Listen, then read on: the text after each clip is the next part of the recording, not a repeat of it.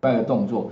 你可能要先什么？先彩排一下啊，彩排是说，哎，你要确定你要怎么做？那理论上是先做清除好了。清除的话，我们怎么清除啊？嗯，可以怎么样？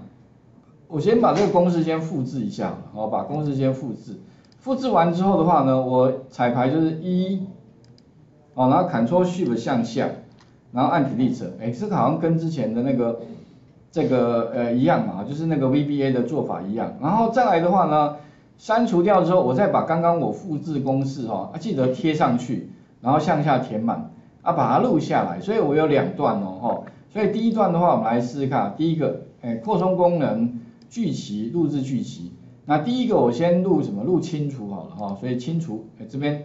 哎不过它跟那个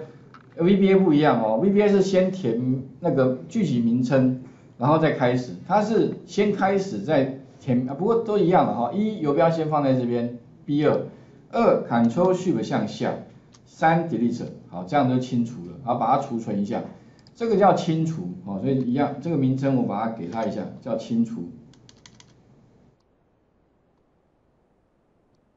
好，那接下来的话呢，哈，我们就是要再加一个什么，嗯，叫刮胡字串，好了，反正这名，啊，接下来的话呢，我们就开始录制了，录制一样哦，再录再一次，好，然后录制剧集，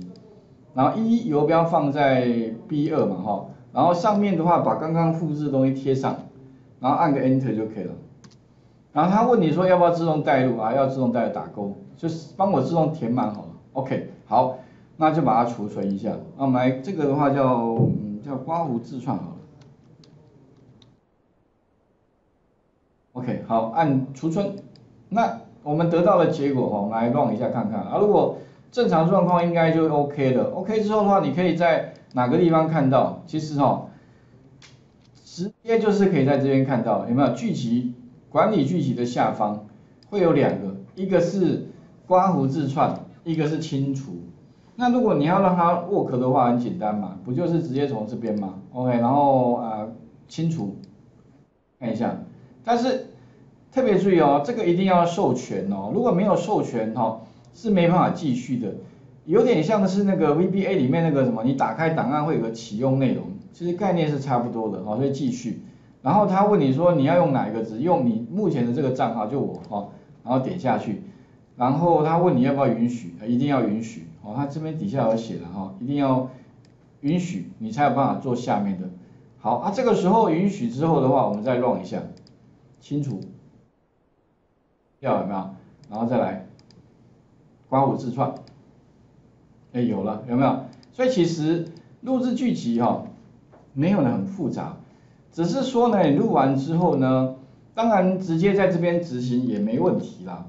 也不会太麻烦，但是好像就是。如果可以在旁边增加按钮啊，感觉会更加的简便，不然还要在这边找到扩充功能，还要找到聚集，其实有点麻烦。所以待会的话呢，如果我希望把这两个东西变成两个按钮，哦，跟上个礼拜一样哦，OK，那要怎么做？哦，那当然做法跟上个礼拜一样啊，所以不过你们在做这个按钮之前哦，我们还是要先知道到底你录了这两个东西。它帮你放哪里啊？其实哦一样啊，这个跟 VBA 蛮类似的，就是哈 VBA 里面呢，我们一样点 Visual Basic，它会呼叫那个程式，啊其实它是放在这个名称叫 Apps 呃 AppScript，OK 点一下，那你会发现打开来，里面应该因为我刚刚录两段啊，所以它两段的名称也。